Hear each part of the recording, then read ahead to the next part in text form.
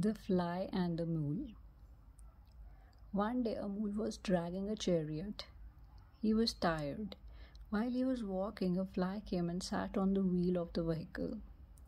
She said to the mule, Oh, mule, why are you walking so slowly? You look like a strong and big beast. You can surely walk faster. The mule was very angry. He turned to Fly and said, I do not pay attention to what you say regarding me. He said, I only care about the person who rides the cart. He is my guide. If I walk slowly, he increased my speed. Therefore, you go away. I don't want to talk to someone who is so small and rude to me. I know when I have to walk fast and at what time I should walk slowly. Moral Never give unnecessary advices.